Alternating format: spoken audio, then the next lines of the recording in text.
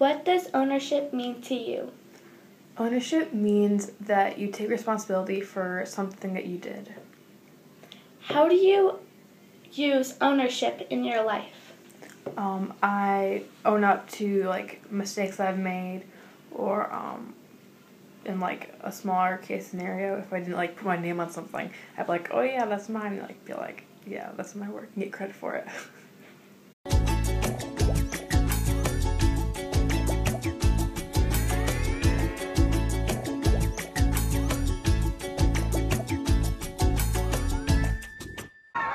Somebody once told me the world is gonna roll me. I ain't the sharpest tool in the shed. She was looking kind of dumb with her finger and her thumb in the shape of a.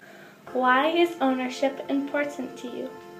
Um, you it's showing that you have like responsibility, like whether it's like ownership for something good or bad. It's like I did this, so I'm be truthful about it. Is owning your mistakes hard for you? Um, yeah. I mean, like nobody wants to be told. Like no one wants to know that they've made a mistake and owning up to it. Like, but nobody it's you. It's kind of like taking to the next level.